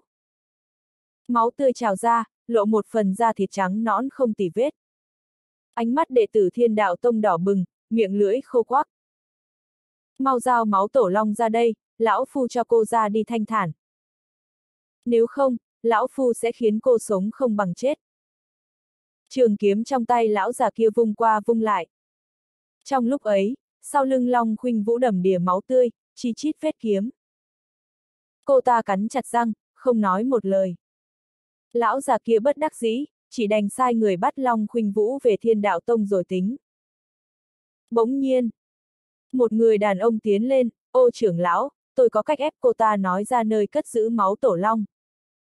Lão già kia nhướng mày, hàn thông, cách gì thế? Hàn thông nhếch mép cười khẩy, ô trưởng lão, nếu đưa về thiên đạo tôi rồi để những người khác ép cung hỏi ra nơi cất giữ máu tổ long. Vậy chẳng phải công lao sẽ thuộc về kẻ khác sao? Ô trưởng lão nhíu mày, quả thật khá có lý. Cậu có cách nào bắt cô ta mở miệng à? Kha kha. Vẻ mặt của Hàn Thông rất đáng khinh, ô trưởng lão, Long Khuynh Vũ là tuyệt sắc đại mỹ nhân đứng thứ ba trong bảng nữ thần của thế giới Tam Thiên. Chắc chắn sẽ có rất nhiều gã đàn ông muốn lột bỏ vẻ ngoài của cô ta, nếu chúng ta sẽ dùng lưu ảnh thạch ghi hình lại. Rồi gã ghé bên tai ô trưởng lão. Ô trưởng lão chợt hiểu ngay, thằng nhóc cậu nghĩ chu đáo đấy. Rồi ông ta lấy ra một lưu ảnh thạch. Hàn thông nuốt một ngụm nước miếng rồi nói, ô trưởng lão, tôi đồng ý làm nam diễn viên. Ô trưởng lão nhíu mày, bảo đao của lão phu còn chưa già đâu. Đương nhiên là lão phu ăn thịt còn cậu theo sau húp canh là được. Dứt lời, ông ta lấy ra một cái mặt nạ rồi đeo lên, kha kha kha, làm vậy sẽ không ai biết lão phu là ai. Hàn thông mắng thầm trong lòng. Gã nuốt một ngụm nước miếng rồi rót chân nguyên vào lưu ảnh thạch. Định bụng ghi hình lại khoảnh khắc ngàn năm có một này. Long khuynh vũ tức giận run người, các người, các người định làm gì? Lẽ nào trước khi mình chết còn khó giữ được tấm thân trong trắng này hay sao? Ô trưởng lão nhếch mép, chỉ cần cô giao máu tổ long ra đây, lão phu có thể tha cho cô. Nếu không, lão phu sẽ không khách khí. Ô trưởng lão bắn ra vài luồng khí kình, cố định tứ chi của Long Khuynh Vũ lại. Rồi kéo cô ta ra tạo thành một hình chữ đại. Long Khuynh Vũ vốn đang trọng thương, bị trường kiếm ghim trên mặt đất, không cách nào phản kháng. Động tác ngượng ngùng này làm cô ta tuyệt vọng nhắm mắt lại. Bỗng nhiên, vút, một tiếng xé gió ập tới. Sau đó, bên tai cô ta truyền tới tiếng la hoảng sợ, ô trưởng lão. Long khuynh vũ mở to mắt, đúng lúc bắt gặp cái đầu đang trừng mắt của ô trưởng lão lăn lóc trên mặt đất. Cậu là ai? Nơi đây là thiên đạo tông. Tiếng kêu la thảm thiết vang một hồi rồi im lặng lại. Chỉ còn tiếng bước chân từ tốn lại gần mình. Lúc này, Long khuynh vũ quỳ trên mặt đất, tạo thành một hình chữ đại. Nên cô ta không thể thấy đó là ai. Chỉ có thể cảm nhận được ánh mắt của người nọ, Cô ta lòng đầy căm phẫn quát, tôi mặc kệ anh là ai, nếu anh dám làm gì quấy rối tôi. Tôi cam đoan dù thành quỷ cũng không bỏ qua cho anh. Một giọng nói quen thuộc vang lên, cô Long, cô đối xử với ân nhân cứu mạng mình như vậy à? Long khuynh vũ ngẩng ra, bỗng mừng rỡ, anh Diệp, cứu tôi với. Phụt. Diệp Bắc Minh bước tới, rút trường kiếm của ô trưởng lão ra. Ngân châm giáng xuống, nháy mắt Long Khuynh Vũ đã có thể cử động. Cô ta vừa định đứng lên thì một bộ quần áo đàn ông bay tới. Nó bay tới đắp lên người Long Khuynh Vũ, che khuất vùng da thịt lộ ra ngoài. Người đứng trước mặt cô quả nhiên là Diệp Bắc Minh. Cô ta kích động đứng lên hỏi, anh Diệp, sao anh lại ở đây? Bản thân cô ta vẫn còn trọng thương, chưa khôi phục. Nên hai chân mềm nhũn, bổ nhào người về phía trước. Diệp Bắc Minh bước lên đỡ lấy Long Khuynh Vũ. Tay anh đúng lúc chạm vào cặp đồi núi mềm mại, mặt Long Khuynh Vũ đỏ bừng lan đến tận mang tai. Diệp Bắc Minh nói, Long cô nương, cô đang bị thương, vẫn là nên nghỉ ngơi trước đi. Nơi này là địa bàn của thiên đạo tông, chúng ta tốt nhất nên rời đi trước. Được. Giọng nói của Long Khuynh Vũ nhỏ đến mức chỉ có con kiến mới có thể nghe được. Nửa giờ sau, bên cạnh một dòng suối nhỏ. Long Khuynh Vũ đang núp sau tảng đá kêu lên, anh Diệp, anh có thể bôi giúp tôi một ít thuốc được không? Diệp Bắc Minh suy nghĩ một chút, đi tới phía sau tảng đá. Long Khuynh Vũ đưa lưng lại với anh, vết thương trên lưng nhìn thấy ghê người. Anh Diệp, tôi không muốn để lại sẹo. Long Khuynh Vũ khẽ cắn đôi môi đỏ mỏng, có nhiều chỗ tôi không thấy được, làm phiền anh. Diệp Bắc Minh gật đầu một cái, bôi thuốc bột lên đó. Ưm. Một cảm giác đau nhói ập đến, trên trán Long Khuynh Vũ toát ra một tầng mồ hôi mỏng, ánh mắt cũng trở nên có chút mơ hồ. Được rồi, Long cô nương. Diệp Bắc Minh xoay người rời đi. Một lúc sau, Long Khuynh Vũ xuất hiện, chắp tay cúi đầu, cảm ơn anh Diệp đã cứu mạng. Diệp Bắc Minh lắc đầu, chuyện nhỏ không tốn sức. Đúng rồi, tôi nghe bọn họ nhắc đến máu tổ long, chuyện này là thế nào? Long Khuynh Vũ nhìn Diệp Bắc Minh thật sâu, từ trong nhẫn chứa vật lấy ra một hộp ngọc. Vừa mở ra thì nhìn thấy hai giọt máu như hổ phách toát ra khí tức uy nghiêm. Diệp Bắc Minh hít sâu một hơi, đây là... Giọng nói của tháp càn khôn chấn ngục vang lên, tiểu tử, máu tổ long. Mẹ kiếp, đây chính là máu tổ long chân chính. Chúng ta bằng bất cứ giá nào cũng phải lấy được hai giọt máu tổ long, cho dù có phải giết người phụ nữ này. Diệp Bắc Minh hoảng sợ, tiểu tháp, đến mức phải giết người sao? Tháp càn khôn chấn ngục vội vàng đáp, cậu căn bản không hiểu máu tổ long có ý nghĩa thế nào đâu. Ngay cả khi ở huyền giới, ngay cả những tông môn đứng đầu cũng đều tranh giành đến mức bể đầu, đừng nói là diệt môn. Cho dù có phải tiêu diệt toàn bộ thế giới tam thiên, những người đó cũng sẽ không hối tiếc. Diệp Bắc Minh kinh ngạc, không thể nào. Tiểu tử, hãy nghe bổn tháp khuyên nhủ một câu, tháp càn khôn chấn ngục thúc giục. Diệp Bắc Minh lại lắc đầu, mặc dù tôi không phải người tốt gì, nhưng không thù không oán lại giết người, tôi cũng không làm được. Nếu tôi làm vậy thì có khác gì với những kẻ đại hung đại ác đâu. Tháp càn khôn chấn ngục im lặng. Long Khuynh Vũ vẫn luôn lo lắng nhìn chằm chằm Diệp Bắc Minh. Cô ta đang đánh cuộc. Ánh mắt của Diệp Bắc Minh từ kinh ngạc chuyển thành rừng rưng, cuối cùng bình tĩnh trở lại. Trong toàn bộ quá trình không có một chút tham lam nào cả. Càng không có ý định chiếm lấy máu tổ long làm của riêng. Long Khuynh Vũ đã biết mình không nhìn lầm người, anh Diệp, anh muốn thứ này sao? Diệp Bắc Minh cau mày lại, sau đó nghiêm túc gật đầu, nếu tôi nói mình không muốn máu tổ long thì nhất định là nói dối. Nhưng đây là đồ của cô, tôi cũng không thể cướp nó đi được, đúng không? Long Khuynh Vũ cười khúc khích, biết Diệp Bắc Minh đang nói đùa. Sau khi hít một hơi thật sâu, dường như đã đưa ra quyết định nào đó. Bùm! Quỳ xuống đất. Long cô nương, cô có ý gì vậy? Long Khuynh Vũ cúi đầu, nhìn chằm chằm xuống đất, anh Diệp, tam trưởng lão Hồ Tông Nhai của Thiên Đạo Tông đã dẫn đầu mấy trăm tông môn khác tiêu diệt Tổ Long Điện. Khuynh Vũ vô dụng, không thể giết Hồ Tông Nhai để trả thù cho vi sư của mình. Chỉ cần anh Diệp đồng ý giết Hồ Tông Nhai thì tôi xin tặng hai giọt máu Tổ Long này cho anh Diệp. Đồng thời, Khuynh Vũ. Khuôn mặt xinh đẹp của Long Khuynh Vũ đỏ bừng, bắt đầu từ bây giờ, Khuynh Vũ chính là tỷ nữ riêng của anh Diệp. Cho dù anh Diệp muốn Khuynh Vũ làm gì, Khuynh Vũ cũng sẽ không có bất kỳ oán hận nào. Diệp Bắc Minh hơi sửng sốt, được, tôi đồng ý với cô. Long Khuynh Vũ ngẩng đầu lên, a, à, thật sao? Diệp Bắc Minh gật đầu, tôi sẽ giết người thay cô, cô đưa cho tôi máu tổ long. Thỏa thuận này rất công bằng, về phần cô làm tỷ nữ cho tôi thì không cần đâu. Hả, tại sao? Không biết vì sao, Long Khuynh Vũ cảm thấy trong lòng vô cùng mất mát, anh Diệp chê bai Khuynh Vũ xấu xí sao? Diệp Bắc Minh lắc đầu, Long cô nương rất xinh đẹp, làm tỷ nữ cho tôi thì thật đáng tiếc quá. Chỉ là tôi không cần tỷ nữ, cũng không phải tôi chê bai cô. Ồ! Gương mặt của Long Khuynh Vũ lại đỏ lên, nhỏ giọng nói thầm một câu, cũng có thể làm cái khác. Diệp Bắc Minh không nghe thấy, Long cô nương nói gì. Long Khuynh Vũ lắc đầu giống như một kẻ trộm vậy, ừ, không có gì. Diệp Bắc Minh thản nhiên nói, đi thôi. Đi đâu, Long Khuynh Vũ nghi hoặc. Diệp Bắc Minh cười nói, đi đến thiên đạo tông, giết người. Hả?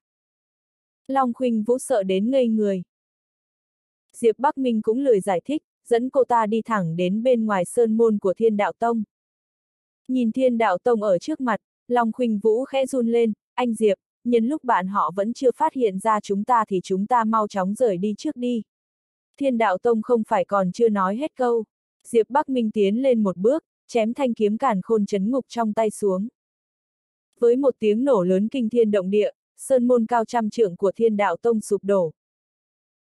Tôi cho thiên đạo tông của các người 15 phút, giao đầu của hồ tông nhai ra đây.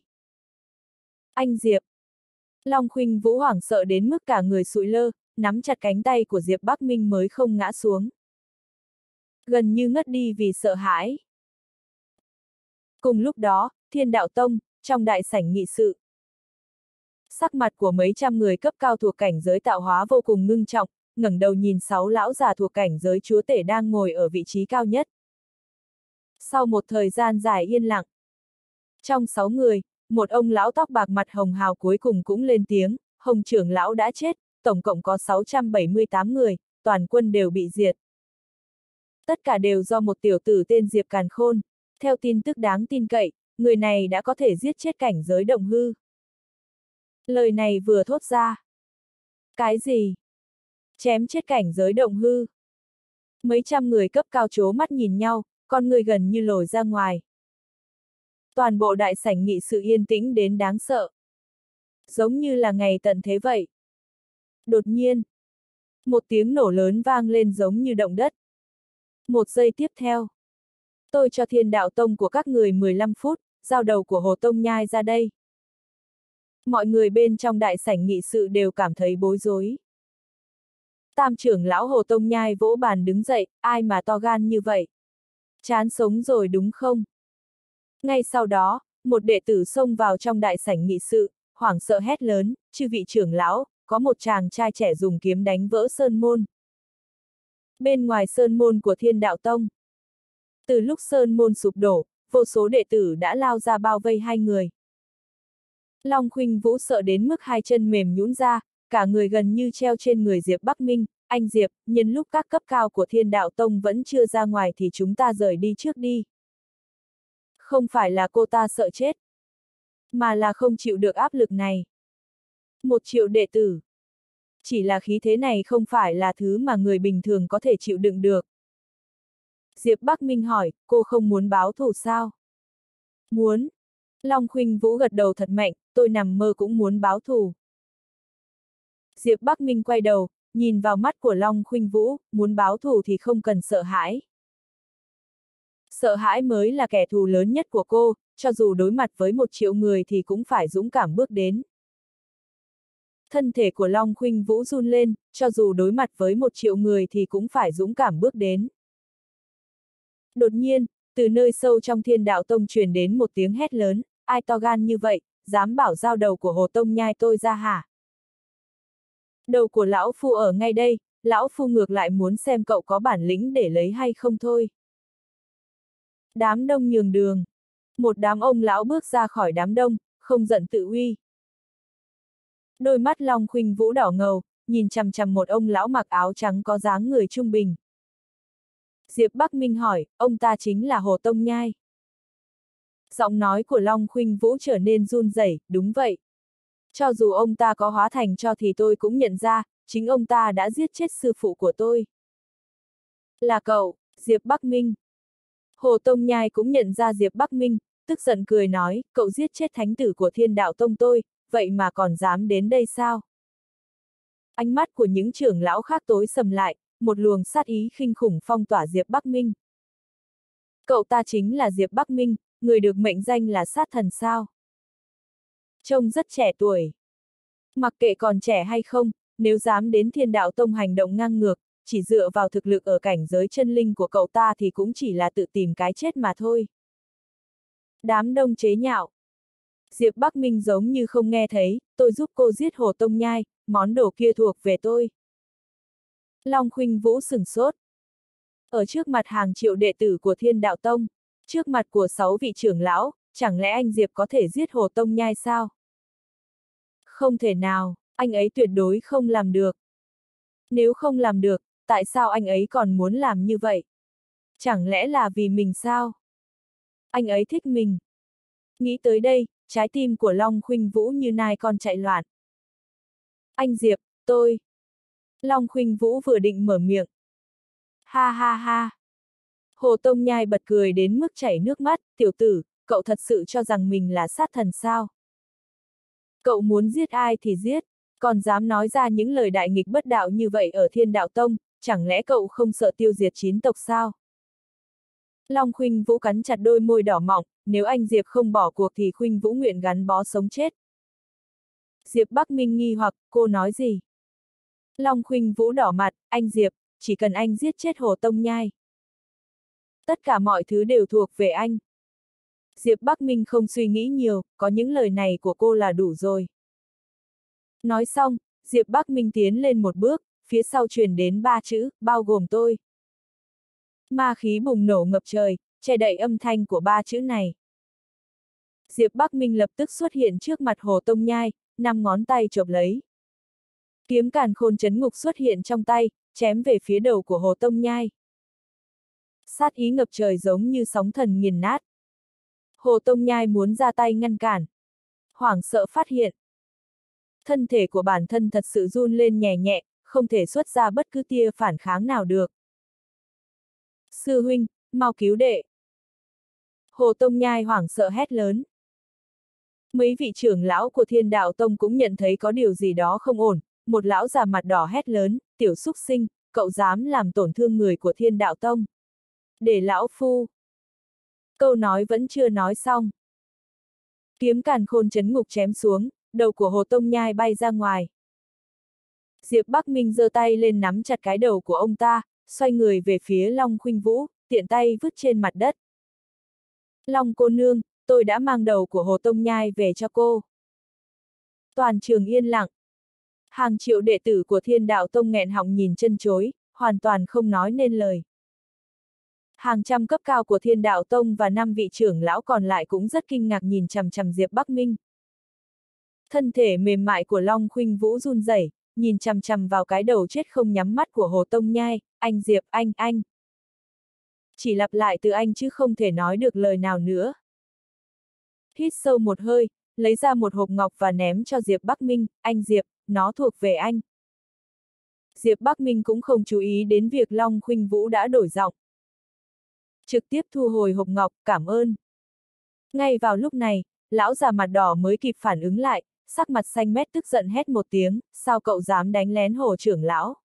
Tiểu xúc sinh, cậu thật đáng chết. Còn đứng ngây ra đó làm gì? Người của chấp pháp đường trực tiếp ra tay cho tôi, giết chết đôi cậu nam nữ này. Vâng. Hàng chục bóng người nhảy ra, vây quanh Diệp Bắc Minh. Anh ngẫu nhiên vung kiếm, một con huyết long lao ra. Va chạm vào phía trên hàng chục thân ảnh. Phốc, phốc, phốc, phốc. Ở dưới tay anh, cảnh giới tạo hóa không khác gì một con kiến, hóa thành hàng chục làn xương máu và nổ tung. Chuyện này. Lúc này, toàn bộ thiên đạo tông yên tĩnh đến cực điểm. Nếu như vừa rồi nói Diệp Bắc Minh đánh lén giết chết Hồ Tông Nhai một phần là do may mắn.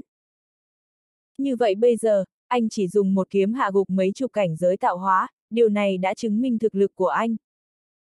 Ông muốn giết tôi. Diệp Bắc Minh nheo mắt lại, tập trung nhìn lão già mặt đỏ. Lão già mặt đỏ theo bản năng lùi về sau hai bước, cậu cậu muốn làm gì? Đây là thiên đạo tông. Diệp Bắc Minh cười, tôi biết nơi này là thiên đạo tông, tôi muốn giết anh, thiên đạo tông có ai có thể ngăn cản được tôi sao? Hàng triệu người ngây người đứng tại chỗ. Chuyện này cũng quá kiêu ngạo rồi. Một con huyết long xuất hiện trong kiếm càn khôn chấn ngục, đang muốn lao ra ngoài. Cậu Diệp, chờ đã. Đột nhiên, một lão già tóc bạc mặt hồng hào lên tiếng. Ánh mắt của tất cả mọi người trong thiên đạo tông đều đổ dồn trên người ông ta, đại trưởng lão. Ông có điều gì muốn nói? Diệp Bắc Minh dừng lại, liếc nhìn người này. Ở giai đoạn giữa của cảnh giới chúa tể, không có bất cứ uy hiếp nào. Ông lão tóc bạc mặt hồng hào cố gắng mỉm cười, cậu Diệp, tôi tên là Trịnh Vạn Nhân, là đại trưởng lão của Thiên Đạo Tông. Chuyện này là do Thiên Đạo Tông làm sai, Trịnh Vạn Nhân nguyện ý nói xin lỗi với cậu Diệp.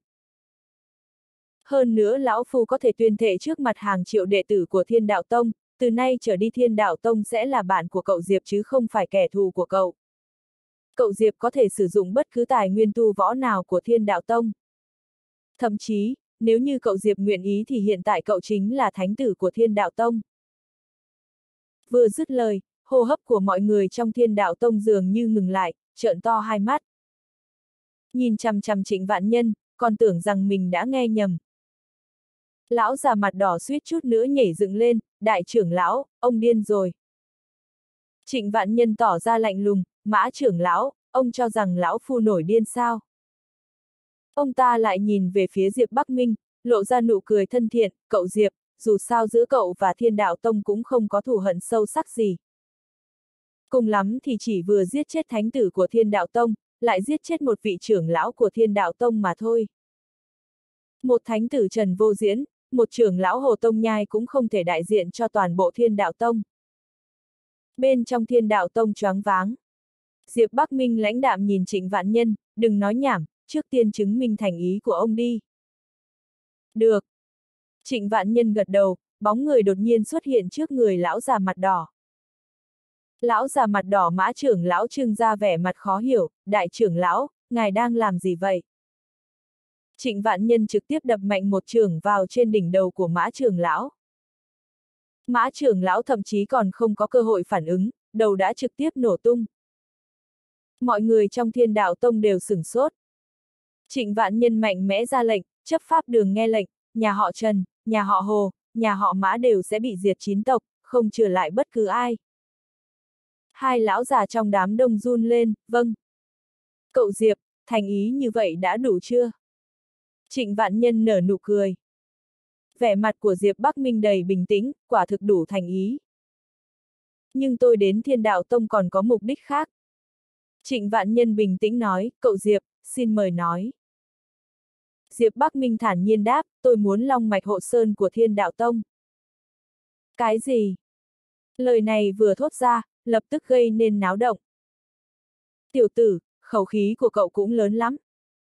Long mạch hộ sơn là căn nguyên của thiên đạo tông. Nếu cậu muốn thì liệu thiên đạo tông còn có thể tồn tại không?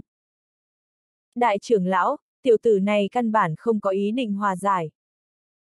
Các trưởng lão còn lại tràn đầy căm phẫn, tức giận nhìn chằm chằm Diệp Bắc Minh. Một tia kinh ngạc thoáng hiện lên sâu trong mắt trịnh vạn nhân, nhanh chóng trở lại bình thường, cậu Diệp, cậu chắc chắn chứ? Chắc chắn. Diệp Bắc Minh gật đầu, muốn xem phản ứng của trịnh vạn nhân. Ha ha ha. Trịnh vạn nhân mỉm cười, được, lão phu đồng ý. Hiện tại tôi sẽ dẫn cậu Diệp đến Long Mạch Hộ Sơn. Xoay người, dẫn đường. Diệp Bắc Minh nhìn bóng lưng của trịnh vạn nhân, âm thầm cau mày. Tháp càn khôn chấn ngục không nhịn được lên tiếng, tiểu tử, lòng dạ của ông già này rất sâu. Thân là đại trưởng lão của thiên đạo tông, không chỉ không ngại thừa nhận sự hèn nhát trước mặt mọi người mà còn chém giết người của thiên đạo tông mình. Cho dù cậu muốn long mạch hộ sơn của thiên đạo tông, ông ta cũng trực tiếp đồng ý.